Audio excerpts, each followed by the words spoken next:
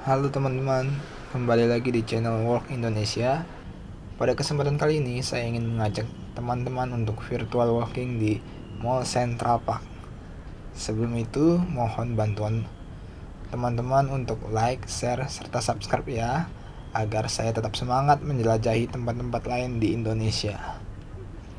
Yap, video ini dibuat setelah saya keluar dari gedung Mall Neo Soho melalui jembatan penyeberangannya pas banget ini cuaca di sore hari dan tidak terlalu ramai.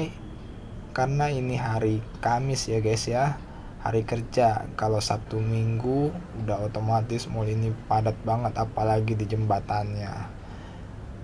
Menurut saya sejauh ini mall ini yang terbaik.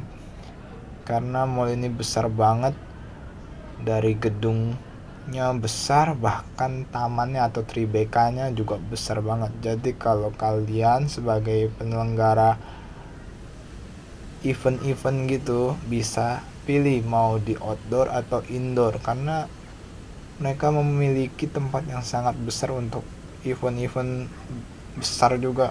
Pasti nggak bakal sempit lah di sini. Bagus banget. Terus di sini juga banyak banget brand-brand premium dan juga menengah ya. Jadi dia uh, menargetkan kelas menengah ke atas. Jadi ya nggak bakal sepi sih. Jadi menurutku itu trik yang sangat bagus tidak menargetkan satu target ya kayak GI atau PI apalagi itu PI itu benar-benar kelas atas banget.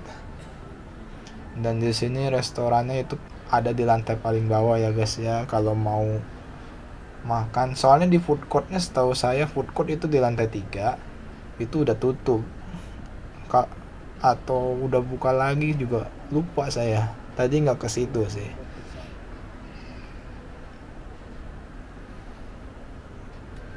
Nah di sini tuh restorannya termasuk lengkap ya. Hanya kesulitannya cuma satu. Kalian ketemuin ATM center itu susah karena itu ada di lantai paling bawah juga.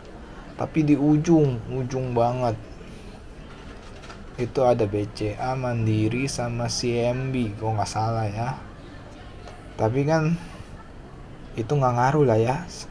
Karena kan sekarang udah jarang banget pakai uang tunai untuk transaksi ya apalagi transaksi di mall itu udah wajib banget pakai kiris atau debit atau dan atau via lainnya lah yang cashless gitu.